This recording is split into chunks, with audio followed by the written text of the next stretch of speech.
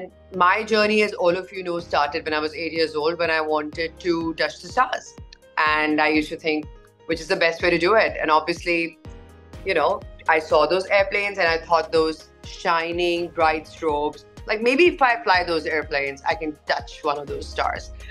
And that's how it started. I had nothing going for me. I did not have my surroundings, my environment. Uh, neither did I know English that well at that time.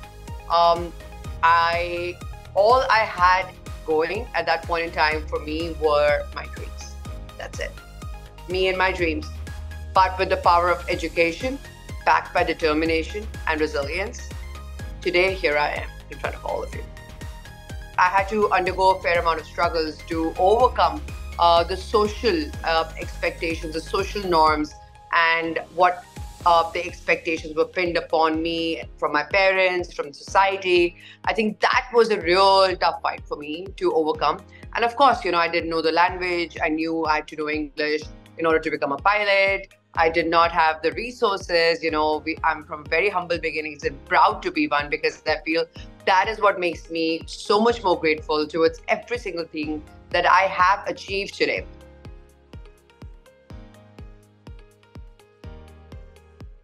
Any child growing up in the elementary formative years, the only few people in their surroundings are their parents and their teachers, not even so much of their friends, because I think those are the two major influences when you're growing up. And you need also support and uh, uh, guidance from them. And if something you don't get, you probably get a little bit lost, a little bit uh, demotivated. And I think we as individuals, you know, as uh, millennials, we should encourage the future generations, our children, to go chase their dreams, no matter how hard they are.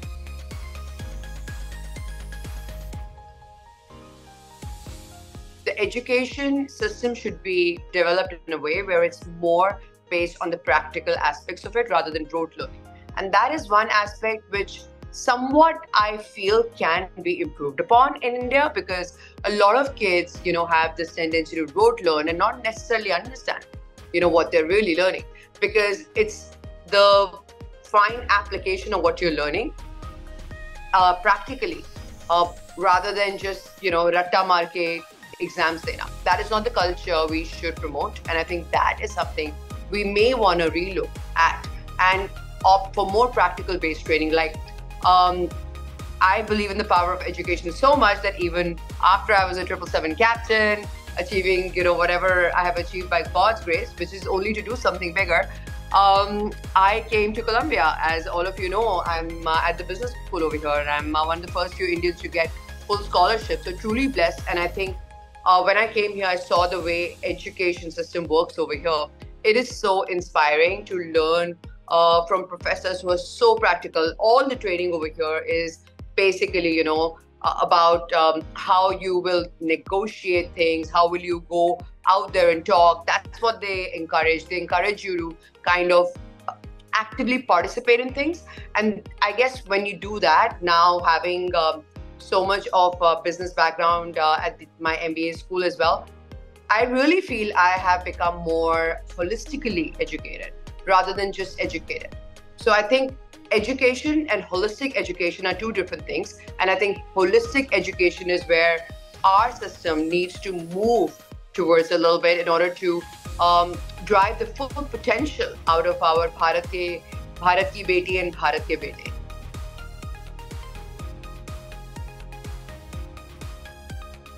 I think learning by doing is super important for our children because when you learn by actually doing, it um, kind of brings about a very holistic learning aspect. You know, so I think it is super important to inculcate that uh, into the way we educate our kids, and also um, to imbibe our children with soft skills because soft skills is something which is going to direct the way you communicate to the rest of the world and how you come across um, as a person because that can make or break any situation the way you communicate.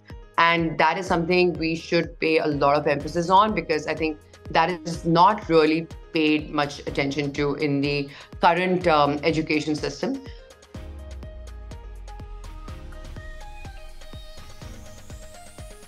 I think a child should be raring to go to school, should be raring to, you know, be able to learn, to unleash their potential. I think that is the kind of world I want to see where children go out there with their passion, with their excitement to go and learn, do something new. So for that requires you to tap into a child's psychology to understand what the child is passionate about and push them in that way. Because let's face it, every child is different, every child is special. I think we just need to find that fine balance of where the speciality lies in the child and maybe kind of uh, direct uh, that child towards that side because creativity is such a thing some people are more creative some are more analytical you know you have to figure out who is who and kind of push them towards that way of education. And I think that is one thing, if we can master that, we can really tap 100% of all our kids' potential rather than losing out so many of them and only a fraction of them are really excelling where they are. Because let's face it, our kids are brilliant. All children are brilliant. The only difference is where they get lost in translation, where they are not able to achieve the same path of the, the same trajectory rather, which is aligned with their passion and their vision and their dreams. We often misread that. And I think that is something we need to change so that every child should be raring to go to school. Like tomorrow morning, for example, I'm also a student, just like all of the Vega school students right now. And um, I feel that, um, you know, tomorrow morning I have 8.30 class, but I'm raring to go. I'm doing this interview at 1 a.m. like with a smile on my face because I know tomorrow morning, even though I have a class at 8.30 in the morning, but I will get to learn so much more and become a better version of myself, which I then what I was yesterday.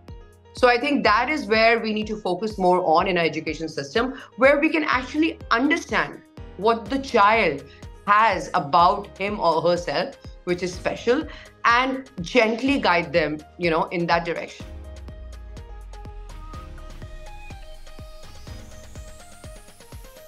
I learned my English from BBC and Star Movies. Um, and um, I was listening to the song called Mariah Carey's Hero. And those lyrics, you know, were such empowering lyrics that even today, when I feel down or low, I always go back to the song because when a hero comes along, it gives you the strength to carry on. And you cast your fear aside. You know you can survive. Even though the hope is gone, look inside you and be strong and you'll finally see the truth that the hero lies in all of you.